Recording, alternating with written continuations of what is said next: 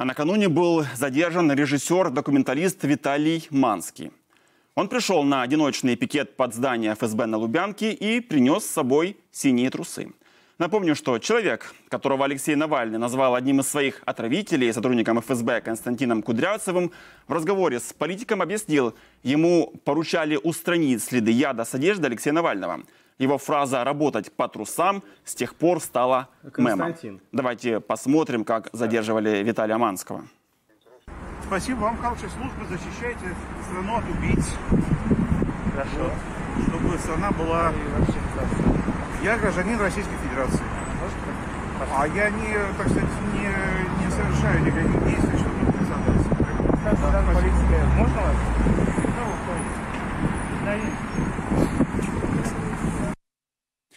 Позже Виталия Манского отпустили, но трусы забрали как вещь-дог.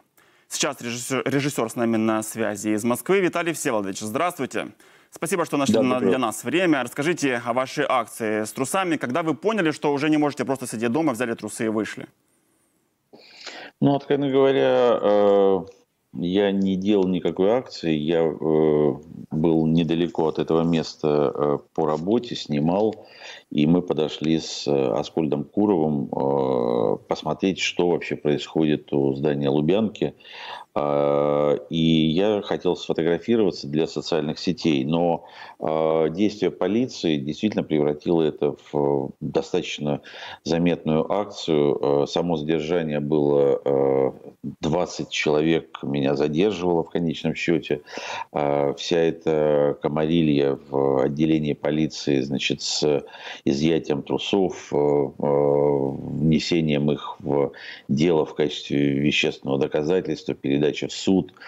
А, и мне кажется, что власть сама делает, э, а, э, сама занимается саморазрушением, само ну, не саморазрушением, пока, к сожалению, об этом говорить э, преждевременно, саморазоблачением. А, но вот то, то обстоятельство, что вчера и позавчера, после такой вообще ошеломляющей Э, новости, я имею в виду вот доказательства преступности власти в прямом эфире, э, то, что люди остались дома, и, и я был ну, почти один э, в проявлении своих каких-то чувств, горечи, растерянности, да и ужаса, это вызывает очень большое сожаление.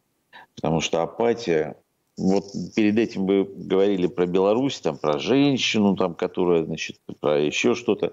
Вот Беларусь э, показывает россиянам э, пример и стыдит россиян, потому что, в принципе, то, что происходит в Беларуси, это э, национальная гордость, это какой-то вообще очень важный э, момент э, с, обретения самосознания нацией. Виталий Селович, да. смотрите, наш телеканал вот накануне опросил случайных прохожих на Лубянке, и знаете, многие из них считают, что ФСБ защищает россиян и не травили Навального. И есть ваша недавняя фраза «Люди в России начинают получать удовольствие от возвращения в рабство». Вы можете объяснить ее? Ну да, потому что э, люди действительно являются жертвами этой тотальной идеологической обработки, которая э, ведется 20 лет, а может быть и более того, ну, 20 путинских лет точно. И они уже, в принципе, у них как бы э, изъято одно сознание и вложено другое. Поэтому то, что они отвечают, что ФСБ их защищает, они как бы, ну, тем более накануне был юбилей репрессивных этих органов, были концерты, их любимые певцы э, так сказать, э, искренне, ну как, как и должен артист, точнее, изображали искренность и чуть ли не пускали слезу, когда пели там про честь, доблесть, отвагу, борьбу с врагами.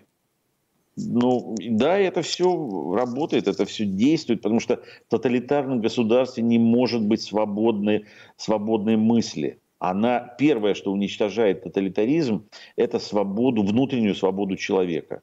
И в России эта внутренняя свобода, особенно, ну, человек вообще слаб. Я думаю, что если меня погрузить в официальные медиа, которые я просто не включаю, но если вот насильно погрузить, наверное, через какое-то время я начну невольно невольно меняться.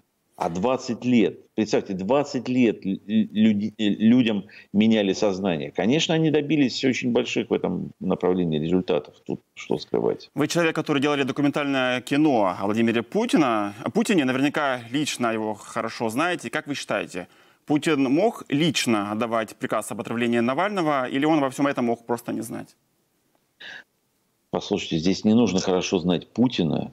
А, это а, просто нужно хотя бы адекватно оценивать систему государственной власти. ФСБ не может действовать в таких направлениях без высшего э, одобрения. Ну, даже, допустим, не указания, хорошо, давайте не указания, но без одобрения это просто невозможно. Тогда просто ФСБ не, ну, ну, ну поэтому, э, конечно, Путин, конечно же, сто процентов, тысяча из тысячи, что он точно знал, что происходит. И, Весь сюжет вот с отравлением поэтому... Навального. Это даже не сюжет документального фильма. Это прям и для художественного фильма такое вряд ли придумать. У вас нет творческих планов на это все? Вы знаете, Навальный сам производит э, такой контент, что ему ни, ни, ни, ничего и никто не нужен. Так сказать, он сам делает э, историю, он сам создает летопись, он сам создает как бы большое многосерийное документальное кино, которое э, собирает э, аудитории Э, которым позаведует самый продвинутый документальный фильм. Самый продвинутый фильм. Вот там, я не знаю, а, мой фильм э, «В лучах солнца» о Северной Корее, может быть, там суммарно посмотрело в мире там 50 миллионов, не больше. А у Навального сколько просмотров? Поэтому чего уж тут говорить. Он сам за себя все делает. А, а, меня только удивляет, что такая огромная армия его подписчиков и зрителей, а, которая не может оторвать свою задницу от диванов. И что я не, не призываю там штурмовать э, Кремль, чтобы быть, хочу быть правильно понятым, но выразить свое отношение к тем преступлениям, которые доказаны на твоих глазах, и ты сам вот смотришь и понимаешь, что происходит, это, ну просто, неужели мы не хотим, каждый из нас не хочет э, сам себя уважать?